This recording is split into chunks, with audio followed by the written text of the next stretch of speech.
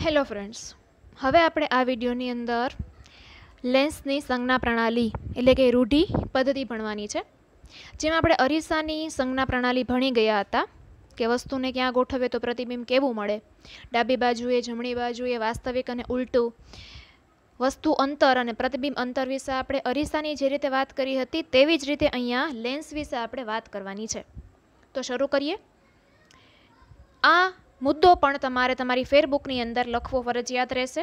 કારણ કે પરીક્ષાની અંદર આ મુદ્દો બે માર્કની અંદર કદાચ જો પૂછાય કે ન પૂછાય પરંતુ આ મુદ્દાનો ઉપયોગ દાખલાની અંદર જરૂરથી તમને કામમાં આવશે.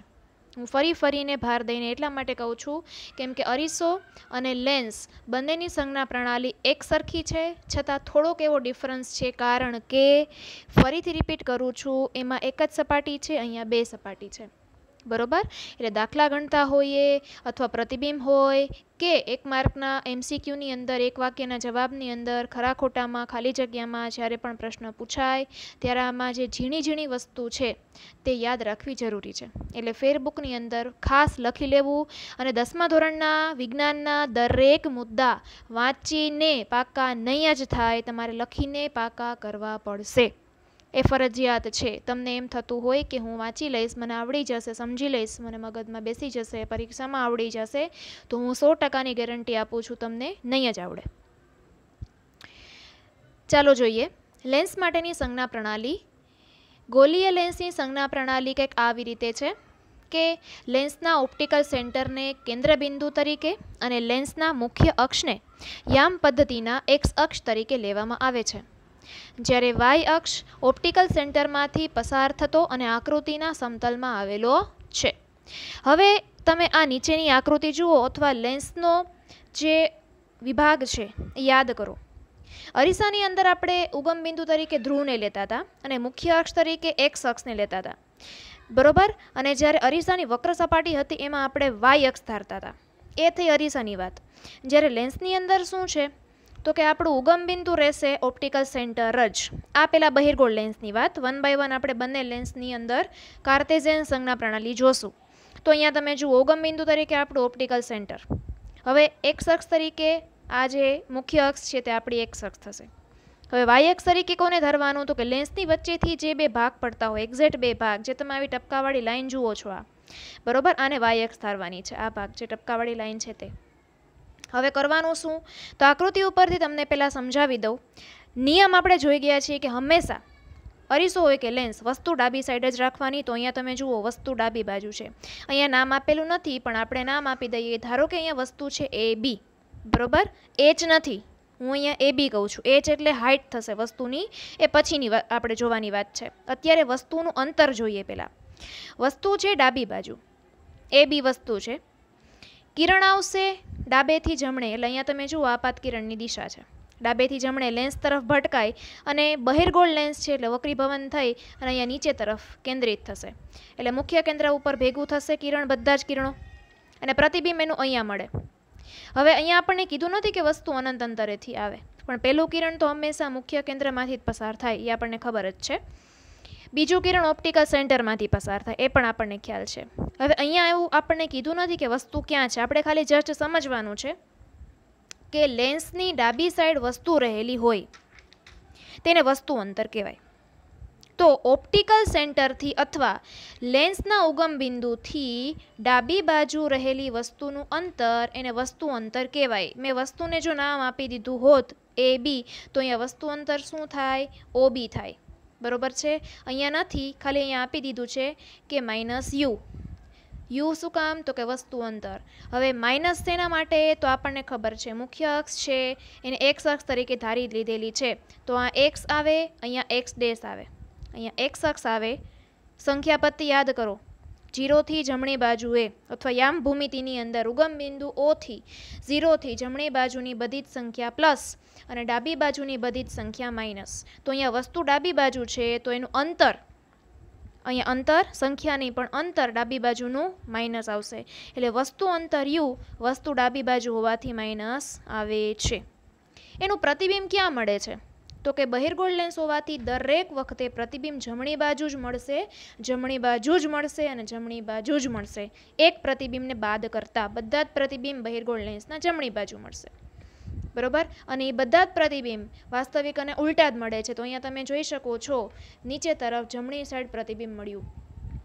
તો હવે ઉગમ બિંદુથી જમણી બાજુની બધી જ સંખ્યા એટલે કે બધા જ અંતર આ સાઈડના હંમેશા પ્લસ આવે, જેના અહીંયા પ્રતિબિંબ મળ્યું જમણી બાજુ, એટલે આપણે પ્રતિબિંબ અંતર કહેશું વી અને જમણી બાજુ હોવાથી ધન આવે એટલે પ્લસ વી પ્રતિબિંબ અંતર થાય. ધારો કે અહીંયા વસ્તુ છે એ મેં દસ સેન્ટીમીટરે રાખેલી છે. તો વસ્તુ અંતર કેટલું થાય? યુ બરાબર માઇનસ દસ. યાદ રાખજો માઇનસ દસ. ધાર્યું. અને મને પ્રતિબિંબ મળે છે આઠ સેન્ટીમીટરે. પણ જમણી બાજુ મળે છે. એટલે જમણી બાજુ હોવાથી આઠ પ્લસ આઠ અથવા તો ખાલી આઠ આવે. વી બરાબર ખાલી આઠ આવે. આવી રીતે દાખલાની અંદર આપણે ગણતરી કરવા માટે આનો ઉપયોગ કરશું. હવે ઊંચાઈની વાત. વસ્તુ ક્યાં છે? તો કે મુખ્ય અક્ષને લંબ તરફ છે. એમાં વસ્તુ ઉપર તરફ છે ને પ્રતિબિંબ નીચે તરફ છે. છે બે લંબ લંબ કારણ કે નેવુંનો ખૂણો બે બનાવશે. અહીંયા પણ નેવુંનો ખૂણો બને, અહીંયા પણ નેવુંનો ખૂણો બને. એટલે મુખ્ય અક્ષને લંબ તરફ છે. ફરક એટલો છે કે વસ્તુ ઉપર તરફ છે ને પ્રતિબિંબ નીચે તરફ છે. ઉપર તરફ વસ્તુ હોય એટલે યામ ભૂમિતિની વાય અક્ષ થઈ. એટલે કે ઉપર તરફની આ જે એમ, ઓ એમ બાજુ છે ઓ એમ સપાટી છે તે. તો ત્યાં હંમેશા ધન સંખ્યા જ આવે, ધન કિંમત જ આવે. તો વસ્તુની ઊંચાઈ ઊંચાઈ એટલે કે હાઇટ વસ્તુ એ બી. બરાબર? એ બીની હાઇટ આપણે લેશું પ્લસ એચ રેડી તો અહીંયા તમે જુઓ, વસ્તુ ઊંચાઈ પ્લસ એચ છે. પ્રતિબિંબ ક્યાં મળે છે? નીચે તરફ. વાસ્તવિક અને ઉલટું. ઉલટું હંમેશા નીચે જ હોય. નીચે એટલે કઈ? તો કે X sorry Y dash minus આવે હંમેશા. એટલે માઇનસ વાય અક્ષ, એટલે પ્રતિબિંબ ઊંચાઈ એ ડેશ બી ડેશ બરાબર માઇનસ એચ ડેશ તો અહીંયા તમે જુઓ. છે પ્રતિબિંબ ઊંચાઈ માઇનસ એચ ડેશ પણ ક્યારે વાસ્તવિક પ્રતિબિંબ હોય તો જ કામ કારણ કે વાસ્તવિક પ્રતિબિંબ જ હંમેશા ઉલટું હોય છે.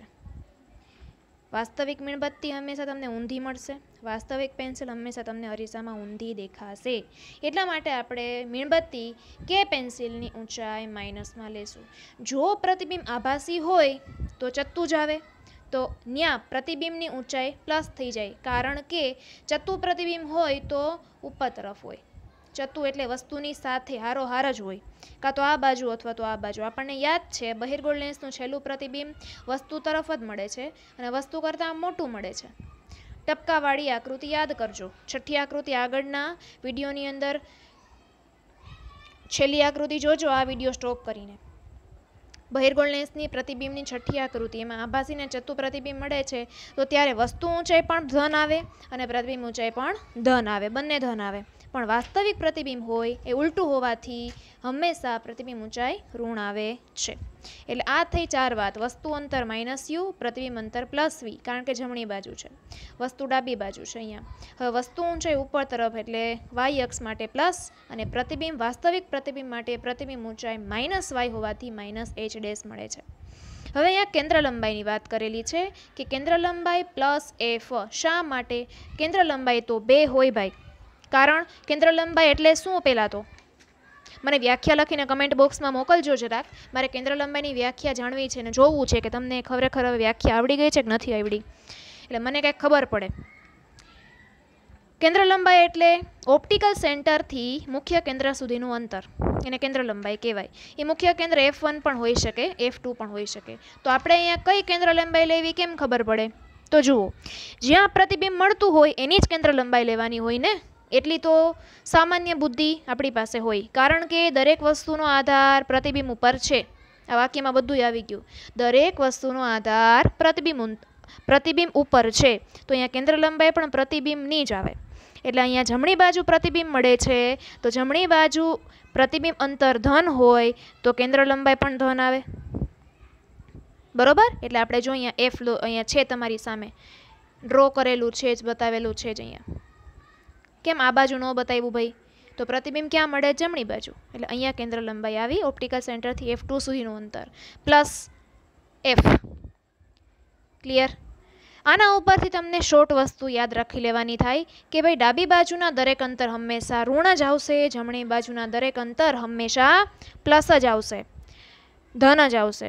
જ્યારે મુખ્ય અક્ષની ઉપર તરફના બધા જ અંતર અથવા તો ઊંચાઈ ધન જ આવશે ને મુખ્ય અક્ષની નીચે તરફની દરેક ઊંચાઈ માઇનસ આવશે. હજી એનાથી શોર્ટમાં કહી દઉં. એક્સ અક્ષ ઉપર હંમેશા અંતર મપાય અને વાય અક્ષ ઉપર હંમેશા ઊંચાઈ મપાય. હવે એક અક્ષમાં ડાબી બાજુ હોય તો માઇનસ અંતરમાં અને જમણી બાજુ હોય તો પ્લસ.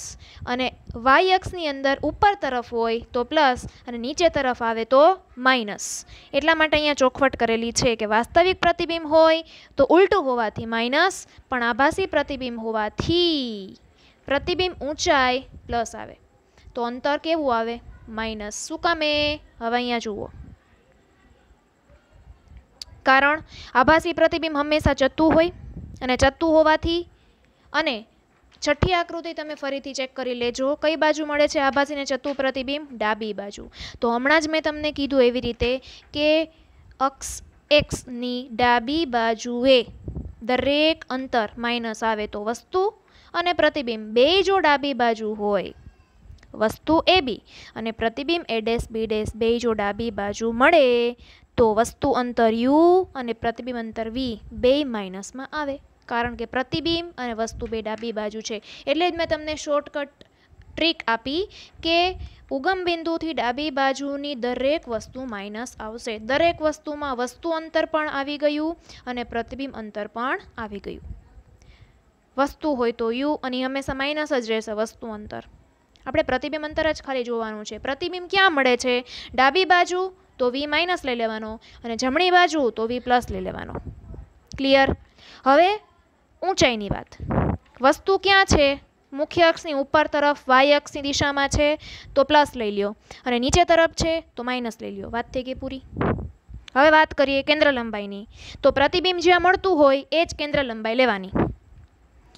પ્રતિબિંબ જમણી બાજુ હોય, તો કેન્દ્ર લંબાઈ પ્લસ આવે. પ્રતિબિંબ ડાબી બાજુ હોય, તો કેન્દ્ર લંબાઈ માઇનસ આવે. વક્રતા ત્રિજ્યા કીધી હોય, તો પ્રતિબિંબ માટે જ વક્રતા ત્રિજ્યા જોવાની. જમણી બાજુ કે ડાબી બાજુ? માઇનસ કે પ્લસ આ રીતે. ક્લિયર હવે હું ઉપરના મુદ્દામાં જાઉં છું. હવે જુઓ. વસ્તુને હંમેશા લેન્સની ડાબી બાજુએ ગોલી અરીસાની જેમ મૂકવામાં આવે છે, એટલે કે વસ્તુના આવતા કિરણો પ્રકાશના કિરણો લેન્સ ઉપર ડાબી બાજુથી આપાત થાય છે. બધા જ અંતર, વસ્તુ અંતર હોય કે પ્રતિબિંબ અંતર હંમેશા ઓપ્ટિકલ સેન્ટરથી મુખ્ય અક્ષને સમાંતર જ માપવાના. વાંધ્રુને સાપેક્ષ લઈને માપતા હતા આપણે. અહીંયા ઓપ્ટિકલ સેન્ટરને સાપેક્ષે માપવાના રહેશે. અને મુખ્ય અક્ષને સમાંતર રહેશે. આપાત કિરણની દિશામાં એટલે કે ડાબેથી જમણે માપવામાં આવતા અંતર ધન અને આપાત કિરણની દિશાના વિરુદ્ધ અંતરો ઋણ લેવામાં આવે છે. આપાત કિરણની દિશાના અંતરો એટલે કે ડાબી બાજુથી કિરણ જાય જમણી બાજુ, તો જમણી બાજુના બધા અંતર ધન આવે. અને એની વિરુદ્ધ દિશાના હોય તો ડાબી સાઈડ થયું વસ્તુ જ્યાં પડી છે ત્યાં એ ઋણ આવે. એટલે આપણે આ મુદ્દો ન સમજાય તો ટૂંકમાં સમજવાનું કે લેન્સની ડાબી બાજુના બધા જ અંતર ઋણ લેન્સની જમણી બાજુના બધા અંતર ધન હવે ઊંચાઈની વાત. કે લેન્સના મુખ્ય અક્ષને લંબ રૂપે ઉપર તરફ માપેલી ઊંચાઈ ધન, હમણાં જ કીધું. ઉપર તરફ આવે તો ધન અને મુખ્ય અક્ષને લંબ રૂપે નીચે તરફની ઊંચાઈ ઋણ આવે છે. હવે ખાસ અહીંયા નોંધ કરીને આપેલું છે, તમને હું ખાસ એટલા માટે કહું છું, તમારે આ વસ્તુ અલગ પેનથી લખવાની છે, ફરજિયાત, જેથી કરીને વાંચતી વખતે તરત જ દેખાય. શું લખવાનું છે? જુઓ. સંજ્ઞા પ્રણાલી પ્રમાણે બહિર્ગોળ લેન્સની કેન્દ્ર લંબાઈ ધન અને અંતર્ગોળ લેન્સની કેન્દ્ર લંબાઈ ઋણ હોય છે. આ એક માર્કનો પ્રશ્ન છે. બાજુમાં લખી નાખજો આઈએમપી શા માટે? તો અહીંયા તમે જુઓ, આ બહિર્ગોળ લેન્સ કેન્દ્ર લંબાઈ કેવી? જમણી બાજુ છે. તો જમણી બાજુ હમણાં જ કીધું, બધું ધન આવે. તો છે અહીંયા ધન. અને અંતર્ગોળ લેન્સ હોય તો? તો કે અંતર્ગોળ લેન્સની અંદર કેન્દ્ર લંબાઈ અહીંયા જુઓ. ડાબી બાજુ. શું કામ? તો કે અંતર્ગોળ લેન્સમાં એક પણ વસ્તુ જમણી બાજુ મળતી જ નથી. કિરણો ભેગા થાય તો મળે ને? જમણી બાજુ કિરણો ભેગા થતા જ નથી. વિકેન્દ્રિત થાય છે. કેન્દ્રિત થતા જ નથી. વસ્તુ ડાબી બાજુ, અંતર્ગોળ લેન્સની અંદર. પ્રતિબિંબ જોઈએ ડાબી બાજુ છે. અને તમને ખબર છે શું? અંતર્ગોળ લેન્સની અંદર એકેય વસ્તુ વાસ્તવિક અને ઉલટી પ્રતિબિંબ નથી આપતી. આભાસીને ચતુર્થ પ્રતિબિંબ આપે છે. એટલે અહીંયા બધું જ વસ્તુને બાદ કરતાં બધું ધન ધન ધન આવશે. બધું પ્લસ જુઓ, અંતર્ગોળ લેન્સ માટે સંજ્ઞા પ્રણાલી. વસ્તુ કઈ બાજુ છે? લેન્સની ડાબી બાજુ. એટલે વસ્તુ અંતર માઇનસ યુ છે વસ્તુ અંતર માઇનસ યુ બરાબર? હવે વસ્તુ તમે મૂકી છે મુખ્ય કેન્દ્ર અને ઓપ્ટિકલ સેન્ટરની વચ્ચે. અથવા તો અનંત સોરી અનંત અંતર અને ઓપ્ટિકલ સેન્ટરની વચ્ચે અહીંયા વસ્તુ છે. ગમે ત્યાં મૂકો વસ્તુને. બરોબર? તો આપણને યાદ છે અંતરગોળનેસનું બીજું પ્રતિબિંબ છેલ્લું. યાદ કરો, આભાસીને ચત્તું એફ અને ઓની વચ્ચે મળે છે વસ્તુની દિશામાં. બરોબર છે? તો અનંત અંતરને ઓની વચ્ચેની વસ્તુનું પ્રતિબિંબ પણ ડાબી બાજુ જ મળે છે એફ અને ઓની વચ્ચે. ક્લિયર તો પ્રતિબિંબ પણ ડાબી બાજુ મળે છે, એટલે આ પ્રતિબિંબ અંતર વી કેવું થાય? માઇનસ. છે પ્રતિબિંબ અંતર માઇનસ વી કારણ ડાબી બાજુ. વસ્તુ ડાબી બાજુ છે, પ્રતિબિંબ ડાબી બાજુ છે, એટલે બંને અંતર માઇનસ આવ્યા. ત્રીજી વસ્તુ, કેન્દ્ર લંબાઈ. હવે પ્રતિબિંબ ડાબી બાજુ હોય તો સ્વાભાવિક છે ને કે હમણાં જ કીધું કે કેન્દ્ર લંબાઈ પ્રતિબિંબની જ જોવાની. તો પ્રતિબિંબ ડાબી બાજુ હોય તો કેન્દ્ર લંબાઈ પણ ડાબી સાઈડ જ લેવાય. તો ડાબી સાઈડની કેન્દ્ર લંબાઈ હોવાથી માઇનસ એક્સ લેવાનું થાય. એટલે આપણે અહીંયા જુઓ માઇનસ એફ લીધો. એક્સ ડેશનો એક્સ ડેશ અક્ષ ઉપર માઇનસ કિંમત હોવાથી આપણે કેન્દ્ર લંબાઈ માઇનસ લીધી. હવે ઊંચાઈ. વસ્તુ કઈ બાજુ છે? મુખ્ય અક્ષની ઉપર તરફ. એ બી એ બી ઉપર તરફ એટલે વાય અક્ષ આવે. વાય અક્ષ છે એટલે પ્લસ તો એ બી પણ પ્લસ જેને આપણે એચ તરીકે બતાવીએ છીએ. એટલે અહીંયા જુઓ, વસ્તુ ઊંચાઈ પ્લસ એચ આવી. પ્રતિબિંબ ઊંચાઈ પ્રતિબિંબ ક્યાં મળે છે? એ પણ ઉપર તરફ. એની આરો આર જ. બરોબર છે? પણ એચ ડેશ એટલે પ્રતિબિંબ ઊંચાઈ એચ ડેશ પણ પ્લસ આવશે. છે અહીંયા? આમ બંને ઊંચાઈ પ્લસ આવે છે. એટલે તમારે શોર્ટકટ ટ્રીક લખતા પહેલાં એટલું જ ખાસ યાદ રાખીને લખી લેવાનું કે લેન્સની અંદર બંને લેન્સ માટે લખવાનો કે બહેરગોળ લેન્સ માટે વસ્તુ હંમેશા બંને લેન્સમાં ડાબી સાઈડ જ હોવાથી વસ્તુ અંતર યુ માઇનસ આવશે. પરંતુ બંને લેન્સમાં પ્રતિબિંબ અંતર યાદ રાખવા કેવી રીતે? તો કે લેન્સની ડાબી બાજુ હોય તો માઇનસ વી અને જમણી બાજુ હોય તો પ્લસ વી ઊંચાઈ માટે પ્રતિબિંબ છે તે નીચે તરફ મળે તો માઇનસ એચ ડેશ અને ઉપર તરફ મળે તો પ્લસ એચ ડેશ કેન્દ્ર લંબાઈ કેવી રીતે? તો કે જ્યાં પ્રતિબિંબ મળે, એવી રીતે કેન્દ્ર લંબાઈને માપવાની. પ્રતિબિંબ ડાબી બાજુ મળે તો માઇનસ કેન્દ્ર લંબાઈ આવે, માઇનસ એફ અને જમણી બાજુ મળે તો પ્લસ એફ આવે. અને ખાસ નોંધ અહીંયા છે એ લખી લેવાની કે ભાઈ, ખાસ બહિર્ગોળ લેન્સની કેન્દ્ર લંબાઈ પ્લસ રહેશે અને અંતર્ગોળ લેન્સની માઇનસ રહેશે. હમણાં તમને આકૃતિમાં બતાવ્યું એવી રીતે. પછી આ ચાર મુદ્દા લખી લેવાના અને બંને લેન્સની આકૃતિ દોરી લેવી ફરજિયાત. છે. આખા મુદ્દામાંથી કાંઈ નહીં પૂછાય, પણ આ કાઉન્સમાં રહેલી નોંધ પૂછાશે. જે કાઉન્સની બહાર છે એ એટલું મહત્વનું નથી જેટલું કાઉન્સની અંદરનું છે. એટલે અહીંયા ભૂલા વિના આઈએમપી લખી લેજો. એક માર્કમાં ગમે તે રીતે પૂછાશે. ખાલી જગ્યા ખરા ખોટા, જોડકા, એમસીક્યુની અંદર ખાસ આવે છે. Greater than one, less than one, zero કે અનંત કેવી હોય છે બહિર્ગોળ લેન્સની કેન્દ્ર લંબાઈ અથવા અંતરગોળ લેન્સની કેન્દ્ર લંબાઈ? તો ઓપ્શન આવે, એકેય નો આવે. મેં પ્રશ્ન શું પૂછ્યો છે? ગ્રેટર ધેન વન ને એવું ક્યાં અહીંયા આવ્યું? આપણે ધન અને ઋણની વાત કરીએ છીએ. બરોબર? તો બહિર્ગોળ લેન્સની કેન્દ્ર લંબાઈ નીચેનામાંથી કેવી હોય છે? પ્લસ માઇનસ ઝીરો કે અનંત અંતરે હોય છે? આવી રીતે પ્રશ્ન પૂછાય નહીં અહીંયા ગ્રેટર ધેન વન ને લેસ ધેન વન એમ ના આવે. બરોબર છે? તો જવાબ જે આવતો હોય તે લખવાનો. તેવી રીતે અંતરગોળ લેન્સની કેન્દ્ર લંબાઈ કેવી હોય છે? એમાં જવાબ જે આવતો હોય તે લખવાનો. બરોબર? હવે આગળ વધીએ. ત્યાર પછી. હા. જૂના દસમાના સિલેબસમાં આ ચેપ્ટરનો મુખ્ય જેને હૃદય, હાર્ટ જેને કહેવામાં આવતું તે નવા સિલેબસમાં કાપી નાખ્યું. તોડી નાખ્યું. ભાંગીને ભૂક્કો કરી નાખ્યું. લેન્સનું સૂત્ર. તો અરીસાનું સૂત્ર ક્યાં? હમણાં આવશે. મેં બંને સૂત્ર સમજાઈ જાય એટલે તમને છેલ્લે એક સાથે રાખેલા છે.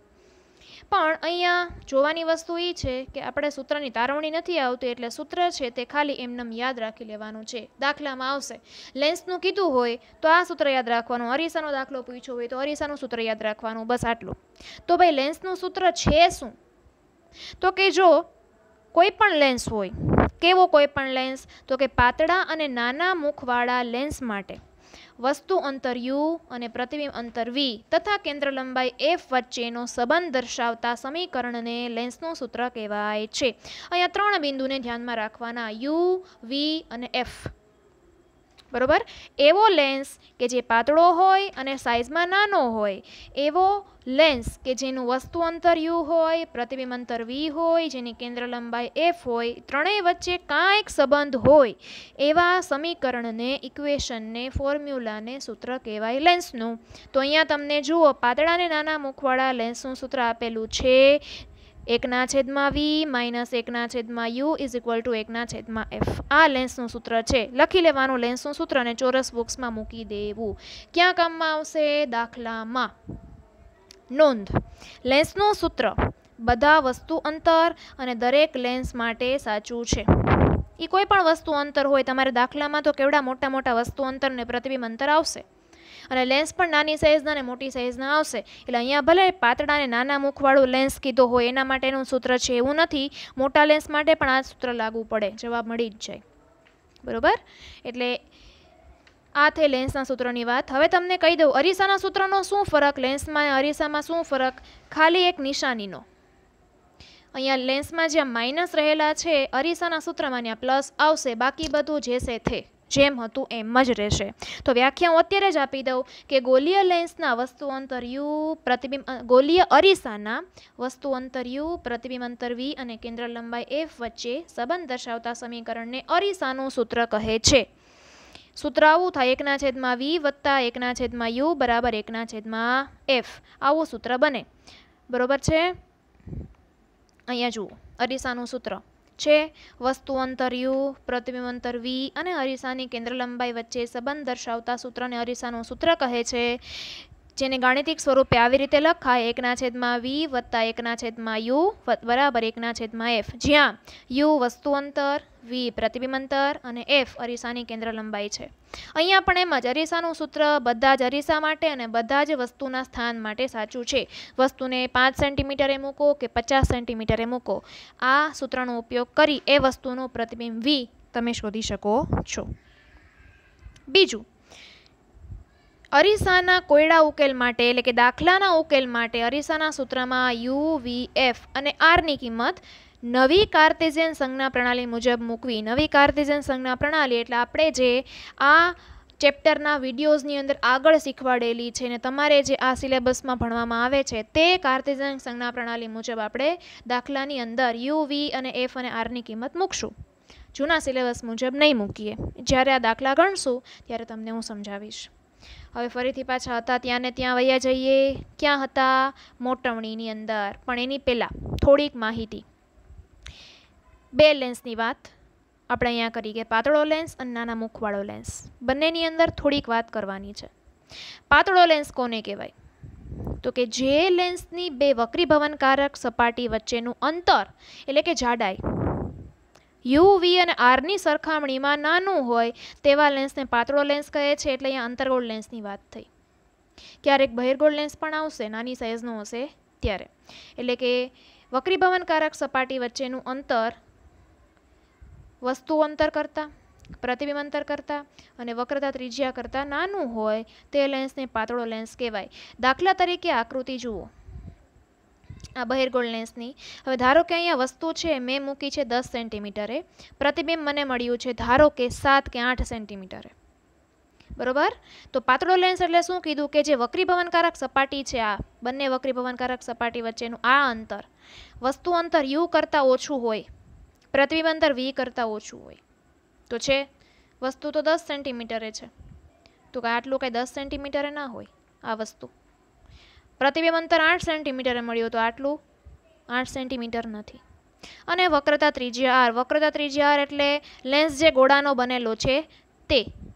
એટલે કે આપણું વક્રતા કેન્દ્ર. હવે તમે આકૃતિ ઉપરથી નક્કી કરી શકો. વક્રતા કેન્દ્ર એટલે શું? કેન્દ્ર લંબાઈનું બમણું થાય. એટલે કે મુખ્ય કેન્દ્રથી ડબલ. ઓ એફ છે, ધારો કે આપણને મળ્યું છે ચારે. ચારે અથવા તો પાંચે. તો પાંચનું ડબલ દસ અથવા તો આઠ. ધારીએ તો. બરોબર? ધારો કે આ અંતર છે, ચાલો ત્રણ સેન્ટીમીટર ધારીએ કે ચાર સેન્ટીમીટર ધારીએ, તો એનું ડબલ સાત, છ કે આઠ સેન્ટીમીટર થશે. બરોબર છે? તો શું? આ બંને વક્રીભવનકારક સપાટી વચ્ચેનું અંતર છ કે સાત કે આઠ કે દસ છે? નહીં. એટલે આ લેન્સ પાતળો કહી શકો. કારણ, યુ કરતાં ઓછું છે, દસ કરતાં ઓછું છે, આઠ કરતાં ઓછું છે, પ્રતિબિંબ અંતર કરતાં ઓછું છે. અને જે આપણી કેન્દ્ર લંબાઈનું બમણું જે વક્રતા ત્રિજ્યા છે, જે ગોળો બનેલો છે ગોળાની ત્રિજ્યા ગોળાની ત્રિજ્યા કરતાં આ અંતર ઓછું છે. ઓછું જોઈને ગોળાની ત્રિજ્યા વધારે જોવાની. એટલે આને તમે નાનો પાતળો લેન્સ કહી શકો. હવે જો ઉપસેલો હોવા છતાં પણ, બહિર્ગોળ લેન્સ વચ્ચેથી ઉપસેલો હોવા છતાં પણ, જો આપણે પાતળો કહેતા હોઈએ, તો અંતર્ગોળ લેન્સ તો ઓબ્વિયસ છે. પાતળો જ કહેવાય. જોવો જોઈએ, ક્યાંય વચ્ચેથી ઉપસેલો છે જ નહીં. આ અંતરમાં એક સેન્ટીમીટર જેટલું, દોઢ સેન્ટીમીટર જેટલું હશે. એટલે આવા પ્રતિબિંબમાં તમે આવા લેન્સનો ઉપયોગ કરી શકો છો. ત્યાર પછી કીધું છે, નાના મુખવાળો લેન્સ એટલે શું? તો કે જે લેન્સનું મુખ કે એપરચર, એટલે કે લેન્સની વક્ર સપાટી, તેની વક્રતા ત્રિજ્યા કરતાં ઘણું નાનું હોય, તેને નાના મુખવાળો લેન્સ કહેવાય. હમણાં જ કીધું, વક્રતા ત્રિજ્યા સ્વાભાવિક છે, બે સેન્ટીમીટરથી વધારે જ હોવાની. કારણ કે લેન્સ એ પોલા ગોળામાંથી તૈયાર કરેલો છે. બરોબર? તો બે લેન્સની જે સપાટી ભેગી થાય, એ ત્રિજ્યા કરતાં ઓછી જ હોય. હમણાં આપણે આકૃતિમાં જોયું. એટલે તમે આકૃતિની અંદર પ્રતિબિંબ મેળવવા માટે કે દાખલાની અંદર ગણતરી કરવા માટે કે પ્રયોગશાળાની અંદર પ્રેક્ટિકલ કરવા માટે જે લેન્સ બધા લ્યો છો, એ લેન્સ છે, એ પાતળા નાના મુખવાળા લેન્સ કહી શકાય છે. કારણ કે દરેકે દરેક એની વસ્તુ અંતર યુ કરતાં, પ્રતિબિંબ અંતર વી કરતાં અને વક્રતા ત્રિજ્યા કે કેન્દ્ર લંબાઈ કરતાં ઓછા અંતર જ એના હોય છે. એની જે સાઇઝ હોય છે, એની સપાટી જે હોય છે ને, તે હંમેશા ચારે વસ્તુ કરતાં ઓછી જ હોય છે. એટલે એ લેન્સ કોઈ દિવસ જાડા નથી હોતા, ક્યારેય પણ. એ જોજો, પાતળી જ સપાટી હોય છે એની, કિનારી જે હોય છે તે. ઓકે ત્યાર પછીનો મુદ્દો નેક્સ્ટ વિડીયોની અંદર જોઈએ. આ વિડીયોની અંદર આપણે જે અત્યાર સુધી ભણ્યા છીએ તે કાર્તિજન સંજ્ઞા પ્રણાલી ખાસ લખી લેવી, આકૃતિ દોરી લેવી અને ખાસ નોંધ મેં તમને આગળ જે સમજાવેલી છે એની બાજુમાં આઈએમપી કરી એક માર્કની અંદર લખી લેવું. કેવી રીતે પ્રશ્ન પૂછાય એ પણ મેં તમને હમણાં કહી દીધું છે. અને લેન્સના મુખની વાત, નાનો ને પાતળો લેન્સ, અરીસાનું સૂત્ર અને લેન્સનું સૂત્ર આટલી વસ્તુ લખી લેવાની રહેશે. આ વીડિયો જો ગમ્યો હોય તો લાઈક કરો અને સબસ્ક્રાઈબ કરો. ચાલો નેક્સ્ટ વીડિયો હમણાં હું તમને સમજાવું